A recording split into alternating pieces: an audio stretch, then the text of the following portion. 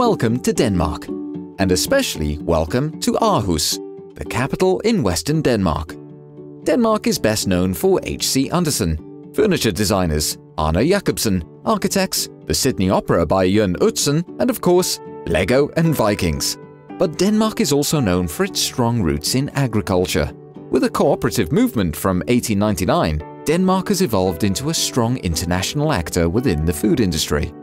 In Europe, Denmark is placed as number one in food innovation. The strong collaboration between primary manufacturers and the industry enables us to produce 3.5 times more food than we're able to consume.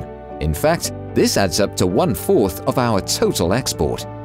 The center for the Danish food cluster is Aarhus, where we meet large international businesses such as Arla, Danish Crown, DuPont, just to name a few. Aarhus distinguishes itself by having a broad spectrum of international companies and a strong university, which has been declared one of the world's most beautiful campuses by the Huffington Post. The historical center of the city can be dated all the way back to the Viking Age. Here, the 600-year-old cathedral towers over one of the city's central squares. Aarhus itself is best experienced by foot. The cozy streets, cafe and nightlife, as well as many cultural experiences, are all within a short distance. A must-see for all visitors is the Old Town. 75 historical houses are gathered from all over Denmark. You get to meet the people of the past, see their living rooms and kitchens, smell their gardens. The museum tells the history of Denmark from the 15th century and all the way to 1974. Over the city, the famous work of art, our rainbow panorama, soars. It's a masterpiece which can and should be experienced from the outside and from the inside. At the edge of Aarhus, you can discover the Vikings of the past in the newly built Moesgaard Museum.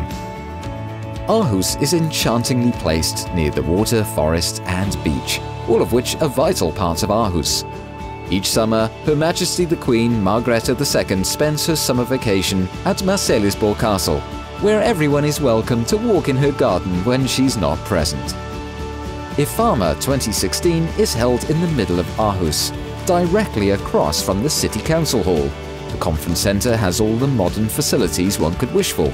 Everything is under one roof conference hall, exhibition rooms and group rooms, and all of the highest quality and right next to the many experiences the city of Aarhus has to offer.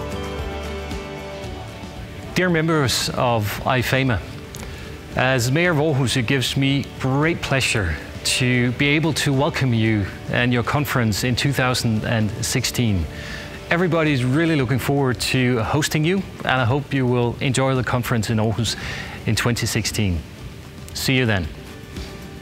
Denmark, Aarhus City and Danish Food Cluster look forward to welcoming you all in 2016.